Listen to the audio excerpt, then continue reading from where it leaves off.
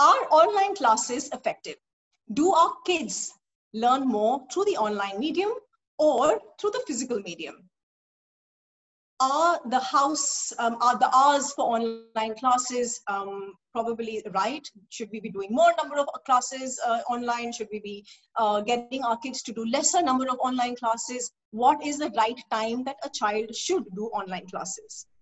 If these questions are questions that you guys have pondered over the last few months, please stay tuned in because the next 30 minutes are going to be packed with an attempt to get an opinion from the people that matter the most, our children. Uh, I'm Pooja Kedia from SchoolWiser, and today I am joined by a very excited group of children ranging age 5 to age 10 from schools such as Heritage, Shri Ram, uh, Ravali, Suncity, and Shiv Nadar. Thank you so much, everyone, for being here with me today. Can everybody just quickly unmute, say hi, so I know that everybody's mics are working before we get started? Hi. Hi. Hi. Hi, Sia. Uh-huh. All right, lovely. Great. It seems like everybody is all set. So I'm going to attempt to start my first question by asking a very generic question. Do you guys like online classes? If you like online classes, I want a thumbs up. If you love online classes, I want you to make a little heart. And if you think, well, they're just okay, we're going to do that. All right, everybody on your screens now. Okay, like, there's some children who are still making up their mind. Love, okay. So we've got Aranya saying love, uh, Sia saying like, Anaya, I don't know if you got your hand saying something, I can't see it. Um, Shivansh is saying like, Tejasvi says like, Anya says okay, Anhad says like. Um, I can't see Anaya, I can't, yeah, like, okay. And Anaya K, I can't see you, your video. All right, so most of us are quite happy with the current situation and like the online classes. Some of us love the online classes and then there are some that say, well, they're just fine. So the next 30 minutes I'm going to spend talking to all of you, um, trying to understand why you like these classes or why is it that you just like these classes and what is it about physical classes that you like better. So I'd like to start my first question with the little ones. Aranya, may I please start with you? I would like to ask you, firstly, tell me how many hours in a day do you uh, do online classes? What time do you start? What time do you end? Can't hear you. One and a half One and a half hour. All right, great. And do you think that's too much? Do you think that's too little? Or do you think that's just right? Right. Just right. Okay, lovely. So we've got Aranya who tells us that she does classes for an hour and a half and she thinks it's just right. Tell me another thing, Aranya. If you were to do classes for another hour, would you get bored or would you like it? Because you would end up learning more. No. No. Okay, that's a very firm no. Thank you so much for your response. Um, if I could move on to the other little one in the group, um, Shivansh, my, my next question is for you, and it's the same question that I asked Aranya. Firstly, please help me understand how many hours in a day do you do online classes? Two hours. Two hours. Okay, so that's half an hour more than what Aranya does. And do you like uh, the time that you have? Would you want to do classes for longer, or would you want to do classes for slightly lesser period of time? More classes and less classes. More classes because it's good for us, but less classes so that our eyes don't get strained. Oh, brilliant. Thank you so much. Okay, lovely. So, so there is probably somebody who's telling us that, um, you know, we should be doing more classes because there's more learning, but lesser classes because it is a strain on your eyes. Thank you so much, both of you, for your valuable input. Um, if the parents are around, the little ones can leave. It's going to be another 20, 25 minutes. I'm not sure if they'd want to stick around. All right. Um, I'm just going to quickly hop on to the next question that I have. My next question, thank you, bye-bye. And my next question is for you, Tejasvi. Tejasvi, thank you so much. Um, I know you're joining us from Canada from uh, Colebrook Elementary School. So help us understand the format of what is it that you do. How many hours of classes do you have? Uh, we over here do one hour. So we have IXL. IXL is basically for math, and we have the different strands in it, like multiplication, division, addition, and like fractions. We're basically in division and fractions. Um, you have to find the equivalent fractions and all. And then um, we also have Raz-Kids. It we like have to read books, and then we get these points. And our teacher assigns different books every time we finish one whole and there you can you have an option of read to me and you have to then also one which is you have to read physically and one which is a quiz Okay, so so also help me understand Tejasvi, things like Raz-Kids and IXL that you mentioned. I'm so glad to hear these words because these are um, tools that are now being used globally. So I know that Indian children, children around the, the you know my own group of friends, uh, friends of friends, I know heard these these tools being used. So that's fabulous. Are these more online tools that you use while you're doing online classes, or are these um, what we call is asynchronous tasks, which is that after you're done with your online classes, these are tasks that are assigned to you, which you do in your time at home. Um, it's basically a part of our online classes. And, okay. Um, we don't every like we don't do the virtual meetings, but we do this, and so basically it covers all the subjects like reading and maths. We don't have science over here not sure. And yeah. Okay, cool. Thank you so much for that. So that's one hour of online classes. I'm going to ask you one more question, Tejasvi. So is there also offline work that you get every day? And if yes, um, how many hours is, is that typically? Uh, we only get like um, virtual. I mean, like. Okay, I can't hear you very well. Tejasvi, could you speak up a little bit, please? We only get the period of the online classes like um so for one hour only, not more than that. We can't exceed the limit. And right. Um, I also like uh, I like the physical teaching better because you can basically listen more attentively rather than like virtual because you have to post it on FreshGrade and all. So there are like these apps where you have to post what you have done on the week and yeah. Okay great. Thank you so much. I think that's that's been very valuable. So we've got the Tejasvi who says that she would prefer physical classes. Um, she does online classes for an hour and um, she can't wait to get back to school is what i understand from what you just said. Thank you so much.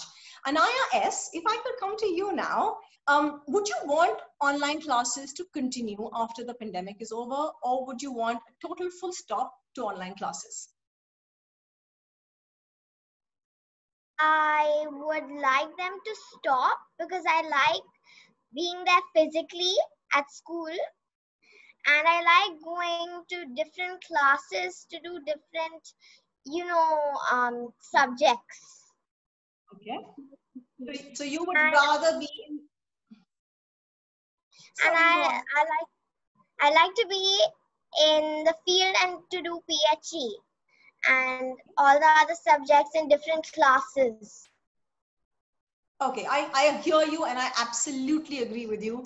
The feel of actually being in, in school, going to different classes, learning different uh, subjects when you're physically there is absolutely different from sitting at home in one place and trying to do everything. Having said that, I'm going to um, try and rephrase my question and ask you. So if uh, in the future you have the option that instead of going to school every day, you were to go to school three days a week and do classes online two days a week, would you enjoy that? It's at some level you do get extra time at home, you get extra time with your parents. Do you think that's something that you would volunteer to do, or would you stick to five days a week school? I think I would do the online two days and three days um, school physically. Okay, great. Thank you so much. I hope I haven't done anything to influence what your initial decision was. But here we have Anaya S who says she loves physical school, uh, but given a chance, she would possibly uh, lean towards blended learning because it does give her that extra time at home, which you can use in many ways. But things like getting up, getting ready, going to school, so the transportation, you also contribute in a way to the social environment because you're kind of you know not getting on a bus or a car and uh, polluting the environment. So those are little things that I think that there are benefits uh, for online classes that everybody should start thinking about. Um, I'm not saying I'm an avid advocate, but that's that's just something that I thought I should I should put through. All right, thank you so much for that. Um, can I move on to Anaya? Uh, you let me just try and see if I can get you on. Anaya, I can't seem to see you. All right, there you are. All right, Anaya. Um, help me understand and candid and honest about this how much support do you need from your mom or your dad or somebody elder in the house when you're doing i do need a lot of support because sometimes there are connectivity issues because uh, the internet is very bad these days. So yeah i do need some help. All right. And typically let's say if you've got two hours or three hours of classes do you uh, typically go to your parents and call them every 15 20 minutes? Um, or does it happen very seldom no, it, it's it happens only sometimes. Right. Like I call them once in two days because sometimes I figure it out on my own and sometimes I need them. Lovely. And let me ask you one more question. So when, when you do face an issue, I'm guessing the first thing that you do is you try and resolve the issue yourself. Do you um, also reach out to your teachers um, and are they equipped to help you or these are issues where you can't connect to the class so you can't reach out to your teacher. So what are the kind of issues that you that you typically these are the issues when i can't uh, connect to the teachers and the class and it says searching for network. So sometimes that happens. So i have to ask uh, help from my parents. Otherwise right. i just refresh the internet Okay, all right. Our kids are learning a lot, and it's so refreshing to hear kids trying to problem solve themselves. Lovely. Um, one last follow up question on that. So, when you do get back on class, and let's say you've lost three minutes or five minutes, and you're joining a conversation that's already in progress, do you feel left out, or um, do you, you typically manage to catch up? I manage to catch up because I see the recording.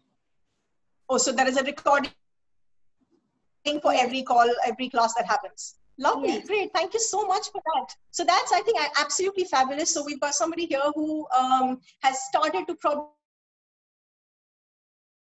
solve on their own so very seldom and whenever that does happen does not feel left out because uh, there is a call recording there is a class recording that is there uh, for children who wish to go back and listen to what has happened in class so thank you so much for that naya um, Sia, if I could now come to you, do you think learning uh, during online classes is the same as physical classes in terms of the amount that you actually grasp when a class is on?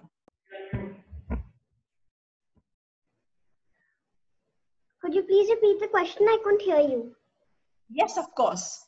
Um, is your learning during an online class, is it the same as it was when you've got a physical class? So do you, uh, as a student, learn as much as you would in a physical class? Uh, I don't think online classes, um, I think physical classes are better in terms of learning because in online classes, anybody can leave the meeting anytime. Like in physical classes you can't just leave the class and go out and just do whatever you like because there will be someone to stop you. But over here in the online classes nobody is there to stop you. Like you can just uh, press the leaving the call button and you will just leave the call. And then sometimes you don't understand because you've left the call. And some children are don't want to focus that much in class and they leave the call then they don't understand so I think physical classes are a little bit better in terms of the learning because in physical classes, one that ma'am can watch you all the time and she, you, there's no camera off and camera on. Like over here, if you want to eat your food or if you want to eat something, you can switch your camera off and ma'am won't even know that you're eating anything or you're doing anything naughty. So I think in that terms, uh, physical classes are better uh, because then ma'am you can't switch your camera off and uh, everything will go well because ma'am can see what you're doing and she can see that what you're confused with and she can help you in that. All right. So let me ask you another follow-up question on that. So yes what you've said is true that um, there is a fair amount of self-discipline that you need if you want to attend online classes effectively right? Um, do you think most of your friends and people around you that you know who have done online classes with you, and yourself included, uh, do you think everybody has that kind of self-discipline, or do you think children are fairly distracted? Okay, so if I want to answer that question, like I would take an example of myself because I really haven't seen anybody except of my brother. So when I'm doing my classes, I am focused, but sometimes like my dog comes and she scratches on the door and that creates a disturbance. Then sometimes my brother wants me to help him with a word that he can't read in his class or word problem that his ma'am is doing and he comes to me and he knocks on the door and I and the um, flow that I'm following, I lose the track of what I was saying or what I was trying to listen to when ma'am was uh, talking. So I think in that terms, if you can sit quietly and if nobody can come in the room, then I think it's okay. But if you know if there's somebody if there's a little distraction also you can lose out. All right great. Thank you so much and i think that's very very well put. Um, it's true that if you're able to uh, kind of take these classes without any distraction without any outside noise yes they can be very very effective. However uh, there are times that these uh, distractions are around you because you're in the house and that does become a problem. So thank you point taken um, Anhad, if I could very quickly come to you now, um, one of the key things that has changed with online classes is the way we're consuming content. And, and I know that for certain schools. So help me understand, given your school environment, do you think that the resources that you're using now with online classes, are they better, worse, or the same as you would if you were to go to physical classes? Some subjects like SST and science, uh, it's uh, same. Uh, and for some subjects like uh, maths, there's a bit more than usual. And for uh, English and Hindi, I miss the interaction. Okay, I think that's very, very precisely put. Thank you so much. That's true. I think for languages, there is that interaction and that connect that you need. But I'm going to ask you, um, or, you know, you mentioned um, SST. So is there is there a bit of uh, um, exploration and geography that you do in uh, SST as well? Uh, we are not learning geography right now. Okay. So what, what do you do in SST? In SST, so like right now, our teacher is teaching us the chapter uh, understanding maps. So okay. she's many videos and she's shown us PPTs uh, and uh, now we uh, have understood it. All right. So, and you think things like that are better taught online? Is that what you said? Uh, yeah, but uh, PPTs can also be shown in school. So right. I like the classes more. Okay. Um, let's say you're looking at a map and you're trying to read it. Do you think resources like, let's say, Google Maps, are you familiar with Google Maps? Yes. Right. So do you think those things come in handy? And is it not an advantage that you're sitting on your computer and ma'am says something and you can't figure out where this country is or where this region is within India and you quickly go to maps and you look at it? Does that, does that actually as a as a aid as something that helps you or no? No. Uh, okay. I anyone who has used it, but I do not use it. Sorry, you said you're the only one who's used it, but? No, I haven't used it. I don't know anyone who has used it. All right. So you you haven't used it and you don't know anyone who's used it. All right. So I think that's that's a very fair point. So languages, um, Anhad's view is that there needs to be that interaction for there to be that that connect and that um, uh, better kind of learning. For things like uh, sciences, social studies, um, possibly online tools are better. Even maths, I think you mentioned, um, there are a lot of resources that are available online. And we heard Tejasvi talk about IXL, which is, I think, also a math tool. So there is a lot more in terms of problems, in terms of questions that is available for practice if you're looking at online tools. Thanks, Anhad. Um, Anya, if I could come to you now. Yes. And I've just seen on my screen, Bhavya has also Hello, Bhavya. Hello. Hi. All right. Anya, really quickly, um, help me understand, are there any, um, uh, you know, disconnects that you have in terms of your uh, social interaction? So do you think that sitting in an online class, you feel a bit disconnected with your friends or is that not really something that's set in? I feel disconnected with my friends because when we're in physical school, we uh, get to go in breaks to the playground together, we get to share tiffins, and that's nothing in online schooling. We mostly even can't talk properly because usually the boys are shouting on their voice, so we can't even talk. Oh. So Tell me another thing. So you you typically have a chat window, uh, you know, with the online Yeah. classes. Do you use that to chit chat once in a while? I use that all the time. But in our teams now. Yeah, but before I used to use it now in the teams where we take our classes, there the chat teachers are monitoring our chats, so chats are not allowed anymore. So we have to add them on WhatsApp, and that's really hard to find their number. So as many as we have, we can chat with those friends. Cause on Oh, Teams okay. now we can't chat. And and I absolutely relate with you. Ever since the lockdown, I feel very disconnected. Been able to meet my friends, and I haven't been able to go out. And while I've had a lot of Zoom calls and virtual interactions with them, it is not the same. So I absolutely feel your pain. Thank you so much for that input. Bhavya, if I could come to you very quickly, um, we were talking a little while back about distractions. Help me understand, do you kind of connect with that? And do you think that virtual classes, there are a lot of distractions around technical glitches, dog barking in the background, doorbell ringing, and does that um, kind of impact your learning when you're in online classes? Yes, it, it impacts. Uh, Sorry, your, your audio is not too good, Bhavya. Can I get you to repeat yourself, please? so whenever it comes, it um,